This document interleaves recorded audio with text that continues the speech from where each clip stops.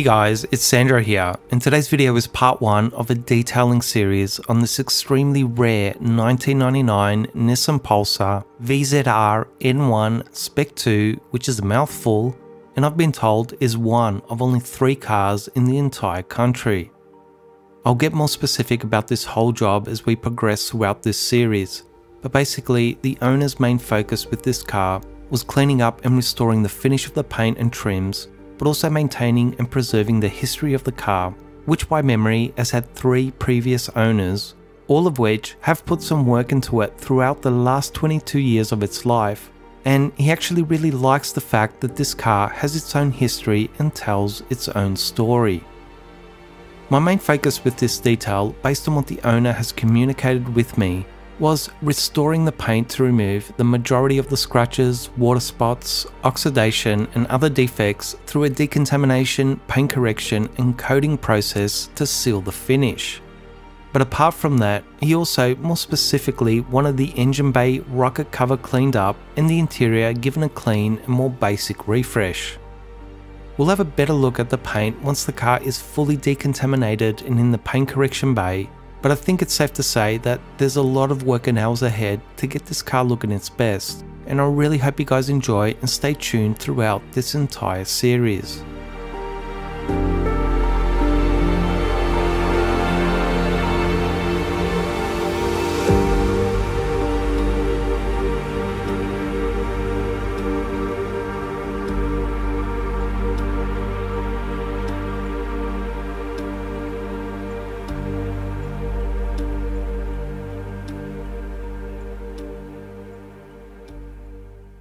Now, just before I jump into explaining the first area, which was the wheel cleaning, I want to explain and be honest about a couple of things. This car came in for a quote after the first Melbourne lockdowns last year, but it was detailed after the second round of lockdowns, and as I'm editing this video, we've just hit our third round of stage 4 lockdowns here in Melbourne. So, to cut a long story short, I went through a bunch of cancellations, losing work, and rescheduling jobs because I wasn't allowed to go to my shop for several months, even though I work alone. And what ended up happening when I was finally allowed to work again is that I had more free time to work on this car than I otherwise would have. As such, I talked with the owner who was happy to leave the car with me for a longer period, and in return, I upgraded this entire job to a far more comprehensive, high end detailing job, including a wheels off detail and coatings, full engine bay treatment, addressing the door jambs and a more comprehensive interior clean and protection, so that I could make this more in depth detailing series for you guys. And in return, the owner got one heck of an upgrade for no additional charge. I never want this channel to get political, but I also don't want to shy away from things and circumstances that do directly affect detailing or detailers, which is what this channel is all about. It's just been so tough for many detailers I know, some of which have closed their businesses for good and others that are holding on by a thread. And the sad thing is that I've never seen the demand for detailing services this strong, so the work is definitely out there. But now we have yet another lockdown, and I and all detailers here aren't allowed to work once again. I do feel very fortunate and blessed that I'm still doing okay, but I'd be lying if I said I felt overly optimistic about certain things that I have to trust our politicians with. Detailers here are deemed unessential workers, but I can go to the local liquor store, mix with people, and stock up on grog because alcohol is essential to my survival, right? Most detailers have the ability to work on cars without making any contact with the owners, yet I can't have a customer drop off their car in a completely non contact manner, work completely on my own and have them pick it up and pay for it, also in a completely non contact manner. But Amazon and Uber can deliver packages to my front door at nauseum. I just hate the blatant hypocrisy and the unwillingness to understand that we are all concerned. We all want to do the right thing, and we are all more than willing to make the necessary changes to be as safe as possible. Not because we have to, but because we want to as responsible human beings. So please just stop with all the dictator style rules, much of which just don't make any sense at all, other than pandering to a political or financial agenda, and let us keep our businesses and live our lives as free and responsible people. I understand that this is not what you guys signed up to hear when you clicked on this video, so I do apologize, and I'll end it here but it's just something a lot of local and international detailers have been messaging me about, and I wanted to say something about it, and that I'm genuinely sorry that some of you have lost your businesses and livelihood because the government decided you're unessential. So, let me catch up to the footage here where I'm firstly addressing the inner wheel wells in a wheels off detail. Now, if you're doing this, guys, put the car on jack stands and never trust a car jack and be sure to wear some personal protective gear. I started by liberally spraying both CarPro Multi-X all-purpose cleaner at a 1 to 3 dilution and NV wheel cleaner neat over the entire area, letting it dwell for a few minutes and then giving the whole area a thorough pressure rinse down.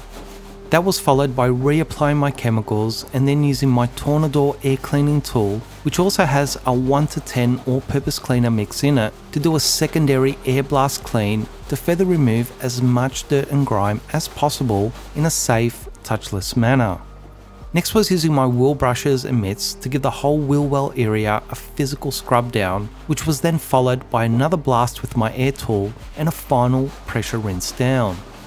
You need to understand that this is the dirtiest area on a vehicle, and when it hasn't been properly cleaned for years or even decades, you need to approach its cleaning and grime removal in stages to get the best and safest result.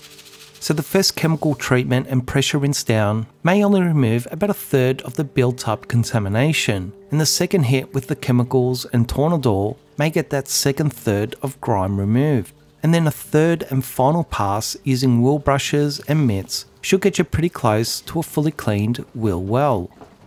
The main reason I don't just spray on my chemicals and start scrubbing is because all that dirt and gunk is going to act like sandpaper over the metal, plastics and rubbers, scratching and scuffing them up, leading to premature wear of those parts.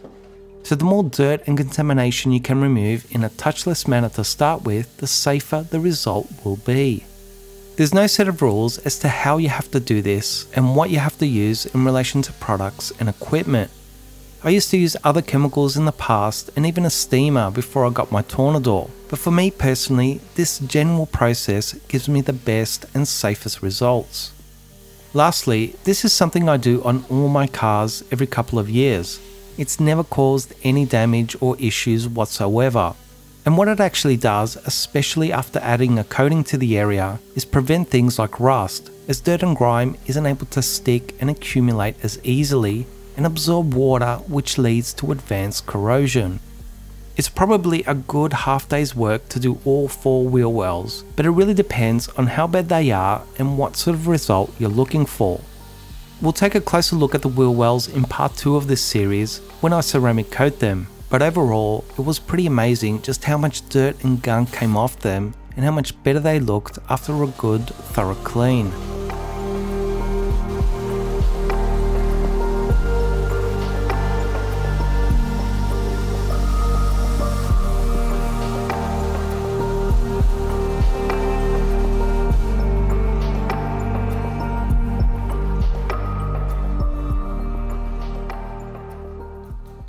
Next was the car rims and tyres.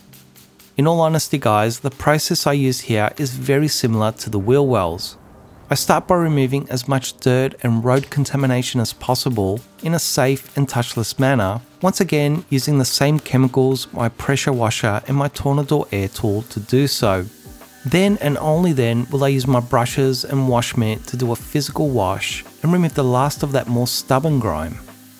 It's not the fastest way of doing it, but it is the safest and most respectful way of cleaning wheels to a high standard. Every time I do this, I imagine I've got a set of super rare and expensive gloss black supercar rims in front of me, and I try to treat every set of rims the same way. This may not be the world's most expensive car, but that doesn't mean the owner loves it any less. So I try to always treat every car with the same care it deserves.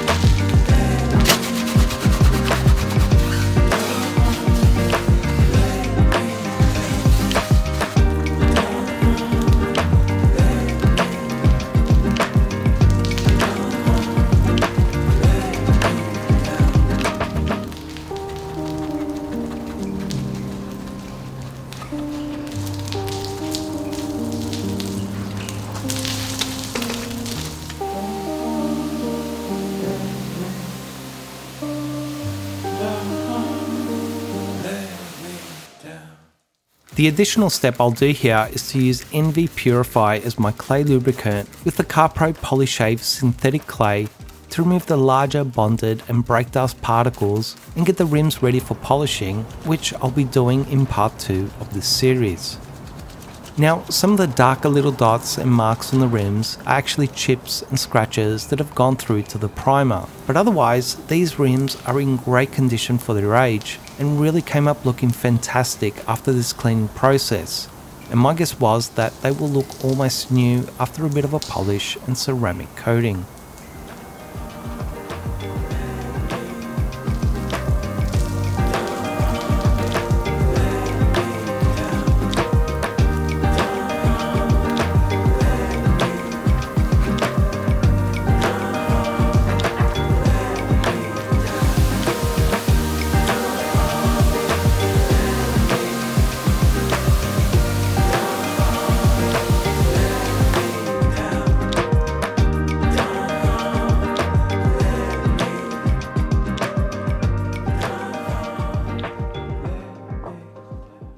Next was giving the engine bay a top to bottom thorough clean. I started by masking and protecting any water sensitive areas such as electrical connectors, alternator, coils and disconnecting the battery, then giving the whole area a blast with compressed air to remove any of the looser dust and dirt, and then I laid down a sheet of plastic to prevent water from flowing into the engine bay while I cleaned the inside of the bonnet. I'm using CarPro Multi-X at a 1 to 5 dilution in my spray bottle, letting it dwell for a minute or two, and then using my Tornador which has a 1 to 10 dilution of Multi-X to clean the entire panel in a touchless manner, followed by a good pressure rinse down. This actually worked pretty well on its own to get the inner bonnet almost perfectly clean, as it really wasn't too bad to start with.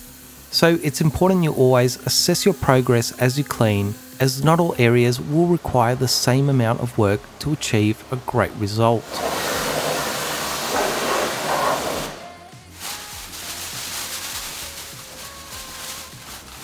Now, when cleaning engine bays, I personally like to section them off into about 6 to 8 areas and just focus on one area at a time. If you try and do the whole engine bay in one go, you're just going to miss and neglect a lot of components, and your results may reflect that unless the engine bay isn't all that dirty to start with. But if you just focus on a small section at a time, you can just shut out the rest of the engine bay out of sight and really just concentrate on every little part in front of you, which in my experience does result in a better outcome. So as you guys can see, I start by using my all-purpose cleaner in my spray bottle as a pre-cleaner, let it sit for a minute, and then follow up with my Tornador, which also has the APC in it, to do a safe, touchless, air blasting clean, which does tend to remove the majority of the surface grime. Then I'm going to use a small detailing brush to physically clean every little area and component one by one. The last step is using my second Tornador air tool that I've got filled with warm water to flush the dirt and chemical residue off the engine bay and down to the ground.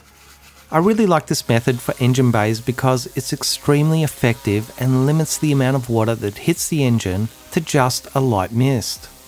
Now sometimes when an engine bay isn't too dirty, I'll just use my steamer to blast it clean. But on an engine bay like this, or even worse, I just find the Tornador to be far more effective and quicker. It's also a good idea once you're done to use blown air to dry the engine, make sure you remove your masking tape and turn the engine over and run it until it gets to operating temperature, which will evaporate any standing water you may have missed.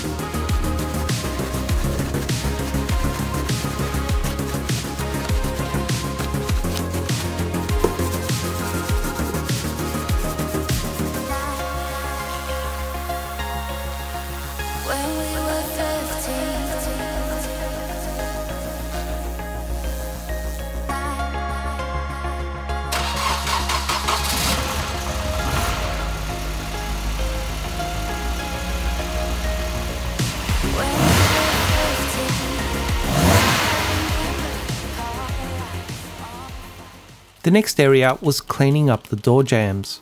It was really once again more or less the same basic technique, products and tools used for the engine bay. I did use a slightly softer detailing brush to agitate the areas and dislodge any more stubborn grime but otherwise it was really the same procedure of doing my chemical pre-treatment, air blasting as much of the dirt and grime off, and then following up with my brush and using my second Tornador with just warm water to flush the area clean so I don't get any chemical streaks or edgings occurring on the paint or trims. Now, as I've mentioned before, you can certainly use a steamer, which I have and still do many times, or just what you have in relation to brushes, as I understand not everyone's going to have this equipment if they don't do this for a living.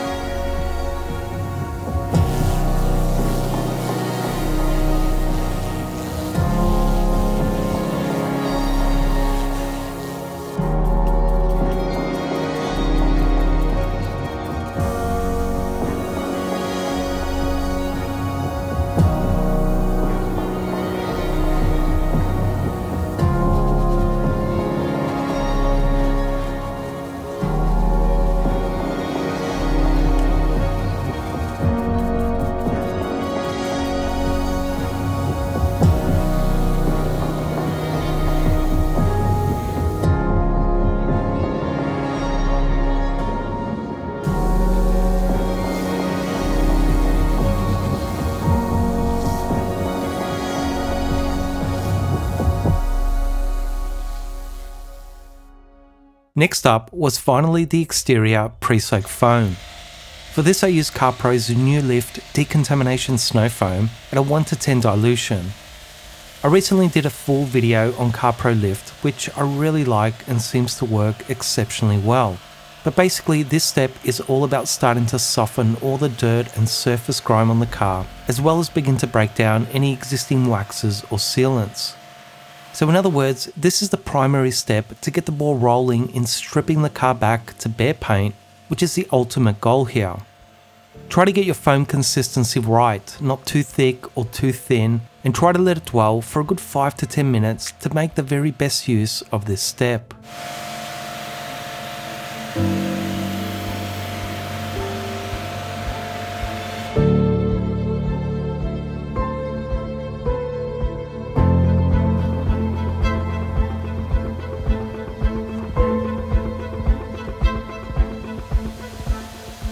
Once the decontamination foam has done its job, the most important step here is a good, thorough pressure rinse down.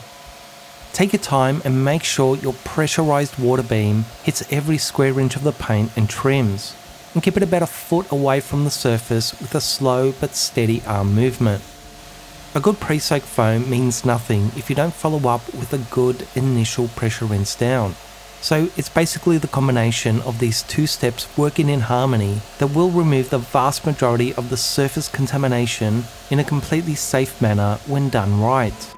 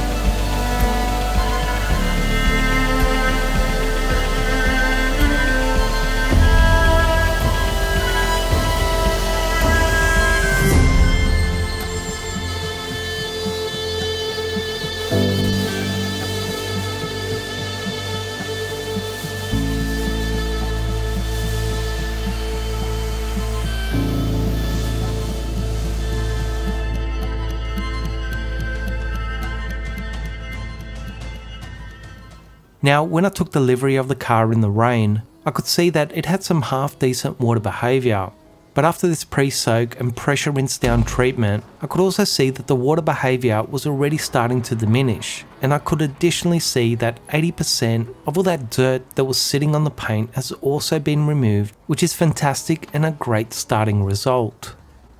My next step here was a physical hand wash, in which I used about 50ml of CarPro Lift and 50ml of CarPro Reset in my wash bucket to remove that last 20% of surface grime on the car.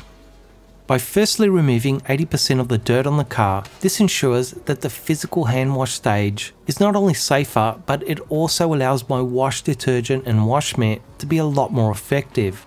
So once again, each next step throughout this whole wash and decontamination stage is aided by the previous step, so everything works in harmony to get the safest and most thorough results.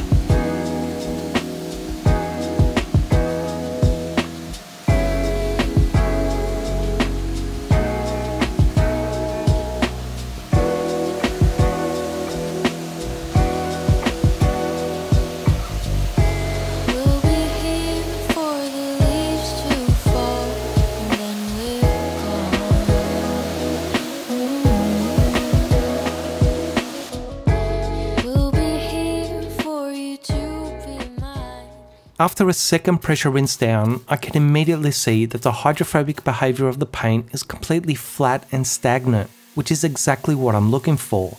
And additionally, the paint around all the larger panels also looks completely dirt free. So it's the perfect result and outcome for this process so far. Now around some of the trims and more intricate areas, I could still see some embedded dirt. So my next step was brushing out the trims to agitate and try to dislodge that built up grime.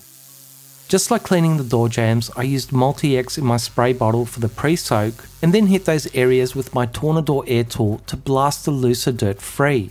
And this was followed up with my detailing brush to physically agitate the more stubborn particles free.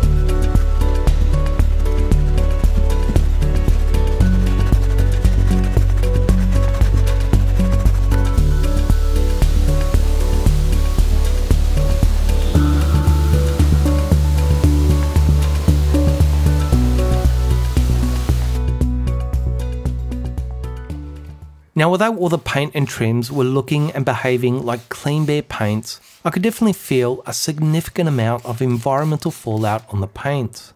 To address this, I decided to combine both my chemical and mechanical decontamination processes into one by using NV Purify with the Economax clay cloth to lift and remove those bonded particles off the surface. Purify is both a clay lubricant and iron and traffic film remover in one, and the Economax clay cloth is an extremely effective form of synthetic clay that's additionally quite non-aggressive on automotive paints. I'm actually always still surprised at just how fast and well this combination works to remove fallout off the paint. It's best to work small sections at a time, only use light pressure, and once you finish an entire panel, rinse it off and move on to the next one. But needless to say, all the fallout came off super easy, the car was given another final rinse down, and the paint was blown dry and ready for the next paint correction stage.